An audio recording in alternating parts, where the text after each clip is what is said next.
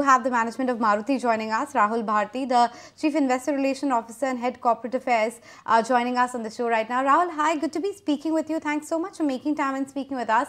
First up, tell us the factors which help you post such a big beat when it comes to your earnings and also this 12% margin number that we saw. Would you call this sustainable as we look into the rest of the year? Our EBIT to net sales, uh, which is slightly different from uh, what the EBITDA to net sales, uh, improved in from Q4 at 10.8% to 11.1% in Q1, which is a uh, margin expansion of about 30 basis points.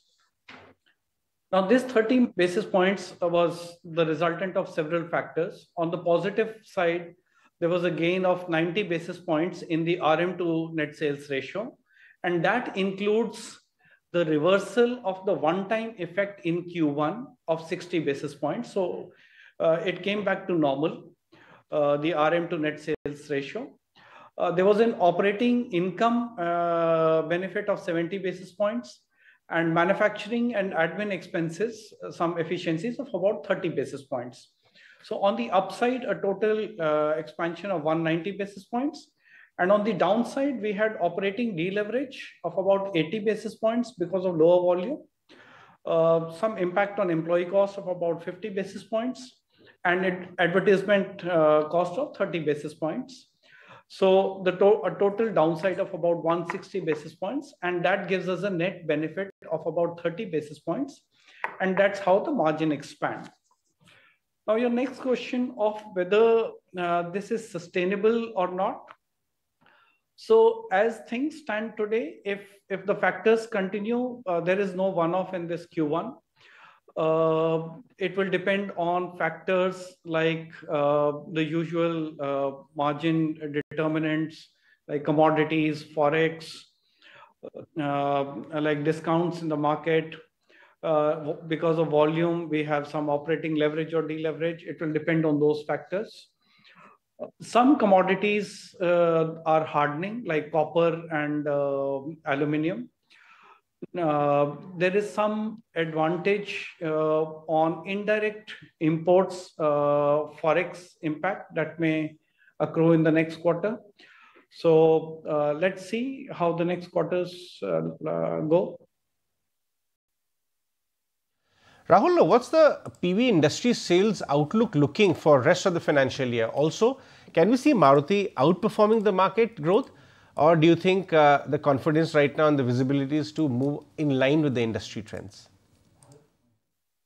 On exports, certainly uh, we have a buoyant growth despite a high base. Uh, we could uh, grow about 11.6% this quarter and that uh, should continue. We expect to do more than about uh, 300,000 this year on exports. In the domestic market, uh, the passenger vehicle market did attain a very high level even last year at about 4.2 million. And it's India has a long way to go, so it's not necessary that you know every quarter we have a steady, exactly the same amount of growth. The market does take a breather sometime, and we are perfectly fine with that so this year, uh, our expectations on volume growth in the domestic market is not much.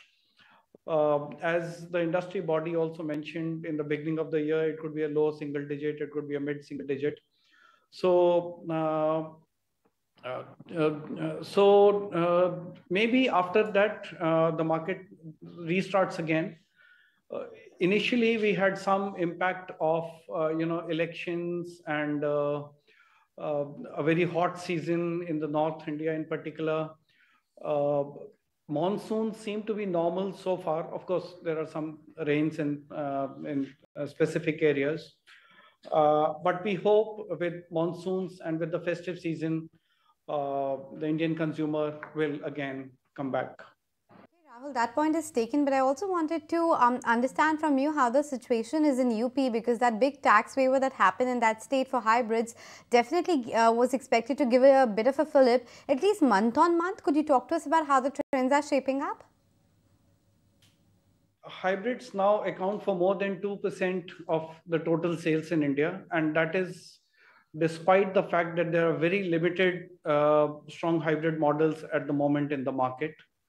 So, uh, there has been growth, but if you're specifically uh, referring to uh, post UP uh, decision, it is slightly premature to uh, to get the data and the numbers. Rahul, we observed that in the first quarter there have been a rise in your discounts. Can we expect to see some more discounts ahead of the festive season also, or in general the policy of uh, discounts to sustain from here on?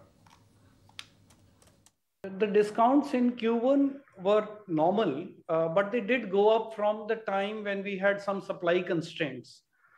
Uh, so you would obviously recognize that last year we, when we had supply constraints because of semiconductor or CNG uh, manufacturing shortfall, uh, so the, the uh, discount levels uh, will be particularly lower and uh, it is difficult to talk about the future because it will depend on market conditions. It will depend on what uh, our peer group is uh, offering in the market. So difficult to uh, to look at in the future. Okay, point taken. Thanks, Rahul, for uh, joining us today and talking to us about how things are shaping up at Maruti. Appreciate your time. For now, the